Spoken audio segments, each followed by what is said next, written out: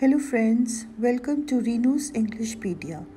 Today we are going to do errors in the use of pronouns. In the sentence, the principal is in the conference room with the teachers. They are addressing a meeting.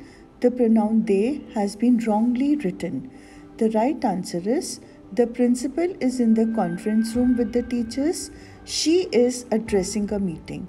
Over here, she refers to the principal and they refers to the teachers. So the right pronoun is she. The sentence, I refreshed with a cup of tea, is an incomplete sentence. The complete sentence is, I refreshed myself with a cup of tea. The statement, let us enjoy, is also an incomplete statement.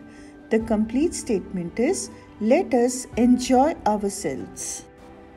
The sentence she cannot bear your separation is a wrong sentence.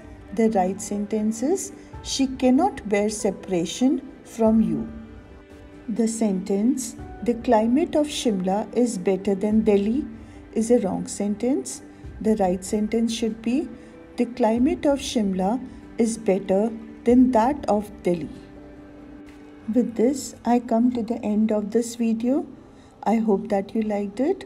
Please do not forget to press the bell icon for further notifications and to hit the like button and share it with your friends and family. It will greatly support my channel. Thank you so much.